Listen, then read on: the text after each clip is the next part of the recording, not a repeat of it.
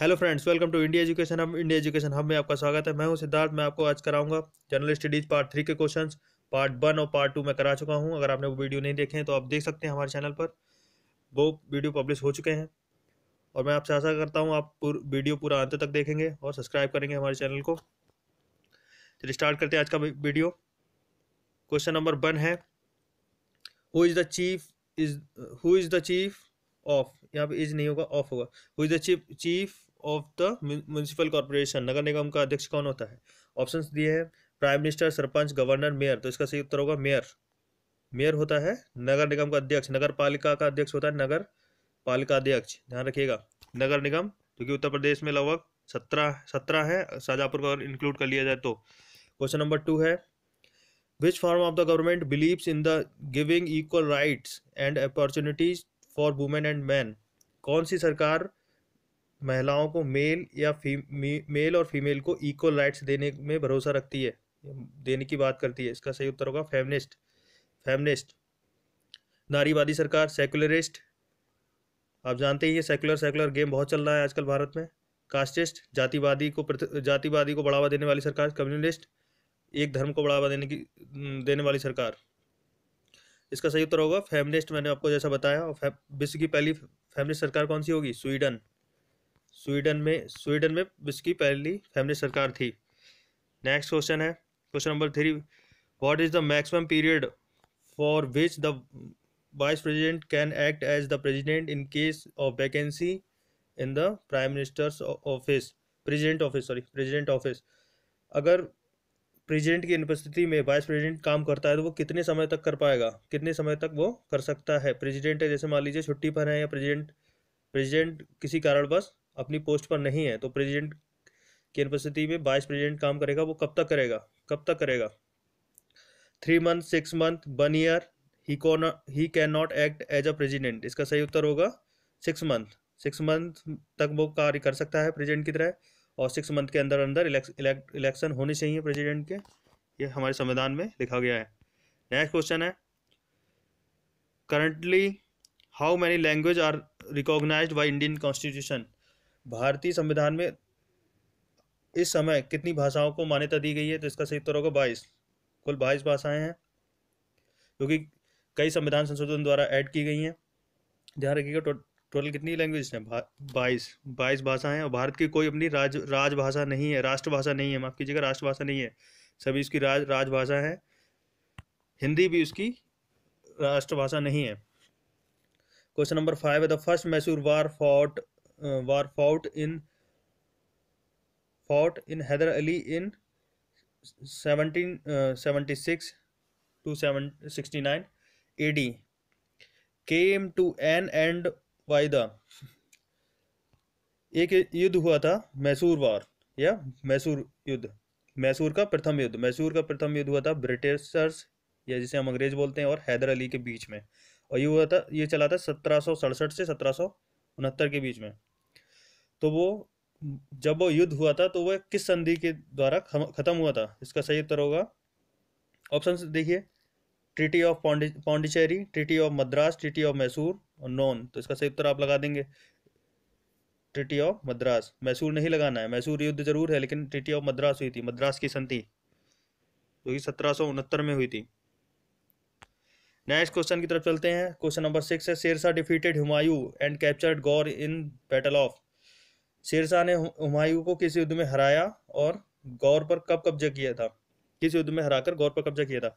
Option दे रखे हैं, घाघरा। यहाँ से आपके चार क्वेश्चन तो चार क्वेश्चन कंप्लीट होते हैं। ध्यान रखिएगा, चार नहीं, पाँच क्वेश्चन को आप मान सकते हैं। घाघरा। घाघरा का युद्ध पंद्रह में कब हुआ था? पंद्रह में चौसा, पंद्रह में पानीपत, पंद्रह में जो कि बाबर और राजपूतों के बदले लड़ा गया था।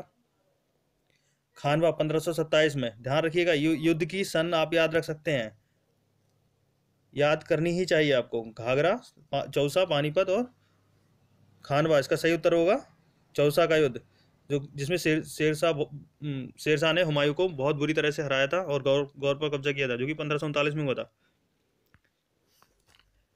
नेक्स्ट है pleura is the covering of pleura एक एक प्रोटीन होता है जो कि कवर करता है। किसे कवर करता है? ऑप्शंस दे रखे हैं। लंग्स, लीवर, किडनी और हार्ट। इसका सही उत्तर होगा लंग्स, फेफड़े। फेफड़े फेफड़े को एक झिल्ली होती है, पेलेरू पेलेरूरा नाम की, वो उसे कवर करती है फेफड़ों को ऊपर से। नेक्स्ट क्वेश्चन है solar solar eclipse occurs when सूर्य ग्रहण कब पड़ता है? सूर्य ग्रहण कब पड़ता है? तो मैं आपको इजी वे में बता देता हूँ, जब पृथ्वी, ये हमारा हो गया अर्थ और ये है सन पृथ्वी और सन के मध्य हमारा अगर मून आ जाए तो ये सोलर इक्लाइप्स की कंडीशन बन जाती है जिसमें मून की छाया जो पृथ्वी की छाया मून की छाया यहाँ पे पृथ्वी पर पड़ती है यही सोलर इक्लाइप्स की कंडीशन है। और इसका उल, अगर उल्टा कर दें यहाँ पे सन है यहाँ पे अर्थ है यहाँ पे मून है। और मून की अर्थ की छाया मून पर पड़ती है तो ये चंद्र ग्रहण पड़ता है लूनर इक्लाइप्स ऑप्शन से रखें the moon does not lie on the line joining the sun and the earth B है the moon comes between the sun and the earth. यही इसका उत्तर सही होगा, आंसर बी। चंद्रमा, पृथ्वी पृथ्वी और सूर्य के मध्य आ जाता है। चंद्रमा, पृथ्वी और सूर्य के मध्य आ जाता है। क्वेश्चन नंबर नाइन है the types of the kidneys presented in frogs are. Types of the kidneys presented in fox और मेडगो में किस प्रकार की किडनी पाई जाती है? इसका सही उत्तर होगा मीजिनोफोरस मीजिनोफोर्स ध्यान रखिएगा मीजिनोफोर्स प्रकार की किडनी पाई जाती हैं। Light year is the unit of option दे रखे लाइट करंट डिस्टेंस और टाइम इसका सही उत्तर क्या होगा आपको बताना है। ये सही उत्तर आपका होगा डिस्टेंस का, दूरी का। लाइट नहीं लगाना है। ध्यान रखिएगा लाइट ईयर ज़रूर है, लेकिन लाइट नहीं लगाना है। अच्छा लाइट ईयर एक क्वेश्चन यहाँ से और बन जाता है। आपका दो क्वेश्चन इसमें कवर हो जाएँगे। लाइट ईयर सबसे बड़ा यूनिट है आपका दूरी का। सबसे बड़ा यूनिट है दूरी का। इसे हम लाइट ईयर को डिफाइन कर सकते हैं। एक वर्ष में चली गई प्रकाश की दूरी। लाइट मतलब प्रकाश ईयर मतलब वर्ष प्रकाश वर्ष एक वर्ष में चली गई प्रकाश द्वारा दूरी। क्वेश्चन नंबर इलेवन है। Medicine of quinine is provided by quinine जो कि क्यूनैन एक दवाई का नाम है, जो जो कहाँ से मिलती है? ऑप्शन दे रखे हैं। Cinchona plant money plant eucalyptus plant all of these cinchona इसका सही उत्तर होगा सिंकोना प्लांट सिंकोना प्लांट से क्यूनैन मिलता है। क्यूनैन किस काम में आता है ये आपको पता है पता ही होगा मलेरिया के। मलेरिया की दवाई से बनती है। दवाई बहुत सारी बनती है लेकिन मेनली दवाई मलेरिया के ही काम में आती है। यूकेलिप्टस यूकेलिप्टस आपका फर्नीचर बनाने में और इसका तेल भी काम में आता है दवाइयों के। मनी प्लांट का मुझे नहीं पता है आपको अगर पता हो तो आप मेरे को ज़रूर बताने की, की कष्ट करें क्योंकि आज तक मैं समझ नहीं पाया मनी प्लांट का क्या काम होता है। कमेंट सेक्शन में ज़रूर बताइएगा मुझे। क्वेश्चन नंबर ट्वेल्व है। The Hutti gold mines are located in the state of Hutti the Hutti एक आ, सोने की खदान का नाम है। ये कौन से स्टेट में स्थित है? अगर आप सोने अगर आपने ज्योग्राफी में थोड़ा सा ध्यान दिया है तो आप बता सकते हैं बहुत इजीली क्योंकि सोने की अधिकतर खान कर्नाटका में ही पाई जाती हैं। ध्यान रखिए तो इसका सही उत्तर होगा कर्नाटका।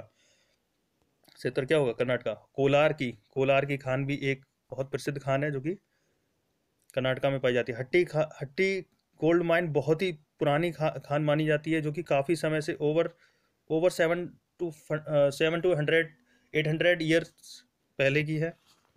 काफ़ी प्राचीन खान मानी जाती है। क्वेश्चन नंबर थर्टीन है an object at rest will will remain at rest and an object in motion will remain motion until the until and unless it is acted upon by external force this is newton's law ये Newton का कौन सा law है? पहले तो मैं आपको हिंदी में बता दूँ। अगर कोई पिंड है, अगर कोई जैसे मान लीजिए बॉल है, आपका कोई बॉल है, यहाँ पे पड़ा हुआ है, कोई बॉल पड़ा हुआ है, वो तब तक मोशन नहीं करेगा, जब तक उस पर यहाँ से कोई फोर्स नहीं लगाया जाएगा। यानी कि इसमें स्थितिज ऊर्जा है, जब तक यहाँ से कोई फोर्स नहीं लगेगा, तब तक वो आगे की तरफ़ नहीं बढ़ेगा। अगर कोई गतिज ऊर्जा है, अगर कोई जैसे मान लीजिए कोई बॉल यहाँ से ये मूव करता हुआ यहाँ इधर की तरफ़ जा रहा है। जब तक यहाँ पे ब्रेक नहीं लगेगा या या कोई कोई रुकावट नहीं होगी, कोई ऊर्जा नहीं लगेगी, जब तक कोई फोर्स उसके दूसरी तरफ़ नहीं लगेगा, तब तक वो कोई चीज़ रुकेगी नहीं। जैसे मान लीजिए आप बाइक से जा रहे हैं, आप जब तक ब्रेक नहीं लगाएँगे, तब तक वो रुकेगी नहीं। ये न्यूटन का कौन सा ला है? न्यूटन का है प्रथम ला न्यूटन का प्रथम नियम है, गति न्यूटन के गति का प्रथम नियम है। जब तक किसी बल पर बाह्य, किसी बल पर, किसी पिंड पर बाह्य बल नहीं लगाया जाता है, तब तक वो पिंड उसी गति में रहता है, ध्यान रखिएगा। क्वेश्चन नंबर फोर्टीन है। In the in case state emergency is declared, it needs parliamentary approval after every, अगर किसी राज्य में इमरजेंसी स्टेट इमरज किसी राज्य में अगर इमरजेंसी लगी हुई है, या आपातकाल लगा हुआ है तो वो कितने कितने कितने समय में अप्रूवल चाहिए उसे लेने के अप्रूवल हमें चाहिए? तो इसका सही उत्तर होगा छः महीने। और ये आर्टिकल इंडियन कॉन्स्टिट्यूशनल आर्टिकल तीन सौ छप्पन में दिया गया है। आप आर्टिकल पढ़ सकते हैं तीन सौ छप्पन में। एमरजेंसी कई तरह की हो सकती है। तीन से चार, तीन तरह की शायद बताई गई है एमरजेंसी क्वेश्चन नंबर फिफ्टीन है। Ajeet Bajaj associated with which sport option दे रखे हैं। Badminton adventure sport cricket hockey इसका सही उत्तर होगा। एडवेंचर स्पोर्ट साहसिक खेल, जैसे हम बोल सकते हैं। स्कीइंग या फिर स्कीइंग से रिलेटेड है। अजीत बजाज एक एक बिजनेसमैन है। बजाज ग्रुप आप नहीं होंगे। तो इसका सही उत्तर होगा, adventure sport. Question number sixteen है। The book hope, the book hope in the book hope in a challenge democracy is authored by एक बुक का नाम है, hope in hope in challenge by challenge democracy. किसके द्वारा लिखी गई इसका सही उत्तर होगा डॉक्टर अश्विनी कुमार। ध्यान रखिएगा, डॉक्टर अश्विनी कुमार, ये पूर्व ब्यूरोक्रेट्स हैं, ये पूर्व ये पूर्व सरकारी अधिकारी हैं। काफ़ी ऊँचे पद पर ये रह चुके हैं, सेंट्रल गवर्नमेंट में भी। Question number seventeen crater lake in India situated in. Crater lake होता क्या है? पहले तो मैं ये आपको बताऊँगा। जैसे जैसे कोई प्लेन एरिया है, कोई प्लेन एरिया है, और ऊपर से कोई पिंड गिरता है, उल्का पिंड अगर अंतरिक्ष से गिरता है तो वहाँ पर एक गड्ढा सा बन जाता है। कोई गड्ढा बन जाता है चारों तरफ़ यहाँ पे कोई गड्ढा बन जाता है चारों तरफ़ मिट्टी उठी रहती है और यहाँ पे इसमें पानी भर जाता है। जब उसमें पानी भर जाता है तो ये झील की तरह बन जाती है। तो क्रेटर लेक लेक, भारत में एक, एकमात्र क्रेटर लेक लेक है और बहुत प्राचीन क्रेटर लेक है। क्वेश्चन कई बार इसे पूछा जा चुका है। ये कहाँ पर स्थित है? इसका सही उत्तर होगा महाराष्ट्र। ध्यान रखिएगा, crater lake, Maharashtra. Question number eighteen है article three hundred fifty six is related with मैंने आपको क्वेश्चन अभी करवाया था, पीछे बताया था, इसका सही उत्तर होगा इमरजेंसी इमरजेंसी से रिलेटेड होगा, आपातकाल से। क्वेश्चन नंबर नाइनटीन है यूनिट ऑफ़ इलेक्ट्रिक करंट विद्युत करंट का का विद्युत धारा का यूनिट क्या होगा? विद्युत धारा किसमें मापते हैं? एम्पियर कैलोरी वेलोसिटी वोल्ट सही उत्तर होगा एम्पियर क्या होगा? एम्पियर कैलोरी को मान, मापते हैं ऊर्जा, जो कि हम फ़ूड लेते फ़ूड लेते हैं, उसकी ऊर्जा हम किसमें मापते हैं? कैलोरी में। वेलोसिटी बेग वोल्ट को हम माप वोल्ट होता है विद्युत विमांतर का। विद्युत विमांतर का वोल्ट को लास्ट क्वेश्चन है हमारा। Twenty India stopped trade with which country to buy palm oil Bharat ने पाम ऑयल किससे खरीदना बंद कर दिया है? खरीदना बंद नहीं कर दिया एक्चुअली मैं आपको बत, इसके पीछे लॉजिक बता, अभी बताऊँगा। आप पहले इस क्वेश्चन को ध्यान दीजिए। पाकिस्तान मलेशिया तुर्की और चाइना। इसका सही उत्तर होगा मलेशिया। एक्चुअली भारत मलेशिया से 4.4 million ton palm oil refined refined palm oil buy करता है। काफ़ी बड़ा एक्सपोर्ट इम्पोर्टर है इंडिया पाम ऑयल का। लेकिन मलेशिया ने हाल ही के कुछ दिनों से भारत को नाराज़ करने वाले थे कश्मीर इश्यू पर।